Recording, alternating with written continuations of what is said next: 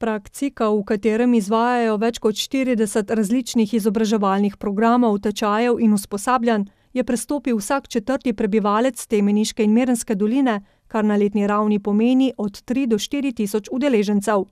Poslanstvo te izobraževalne ustanove skozi leta ostaja enako. Mislim, da je pomembno, da se ljudje zavedamo, da se moramo ves čas učiti ali na naših inštitucijah ali pa skozi druge medije, da sledimo novostim, da ne zaspimo. Življenjska doba se veča, se podaljšuje, delovna doba se podaljšuje in slediti je treba vsem trendom.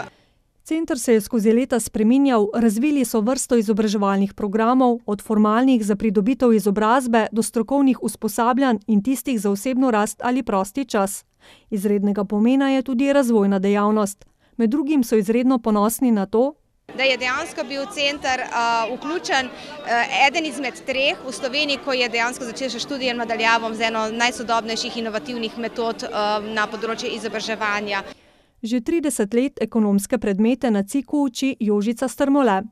Spomnim se obdobja, ko so bile generacije ogromne, ko se je izobraževalo zelo veliko ljudi, ki so imeli osnovno poklicno izobrazbo pa so delali na delovnih mestih, kjer se je zahtevala srednja izobrazba.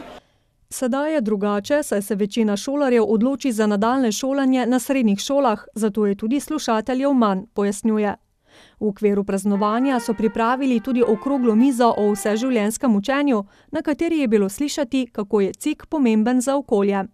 Skrbi za to dodatno usposabljanje različnih skupin, pozna to lokalno okolje in verjamem, da bo v prihodnje še bolj skrbela za usposabljanje za tiste poklice morda, ki smo jih v okviru rednega izobraževanja spregledali. Ob tej priložnosti so izdali tudi zbornik.